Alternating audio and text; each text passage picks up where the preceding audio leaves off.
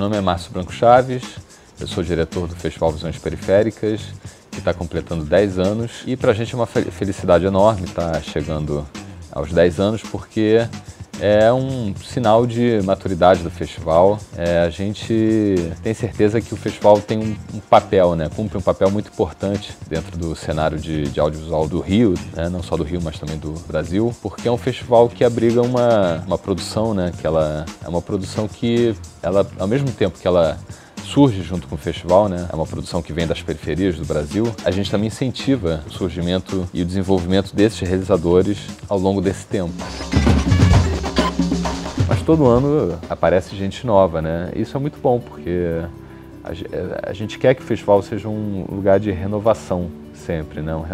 não só a renovação dos realizadores, mas também de renovação estética. E pessoas, não só pessoas novas, mas pessoas de realidades diferentes. A gente preza muito por isso, né? Preza pela diversidade de realizadores, a gente preza muito pela diversidade de estética, porque geralmente os filmes do Visões, eles são filmes que falam muito sobre a vida dos realizadores, né? Que falam sobre o lugar onde eles moram, que falam sobre seu círculo de amizades, os seus, os seus, os seus laços familiares ou de vizinhança, né?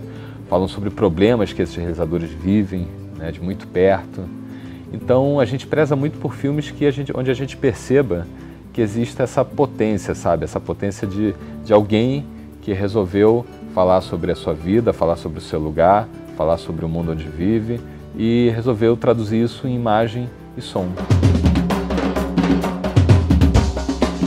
A pessoa que a gente está homenageando na, na abertura é um dos maiores documentaristas é, vivos que, do, do, Brasil, que é o Silvio Tendler, né, que é um documentarista com mais de 70 filmes é, na bagagem, né, e é um realizador que ele lançou um olhar é, sobre a história do Brasil que para a gente interessa muito. Dia 7 de setembro de 1961, Jango assumiu a presidência da República e anunciou que seu governo pretendia marcar uma nova independência do Brasil.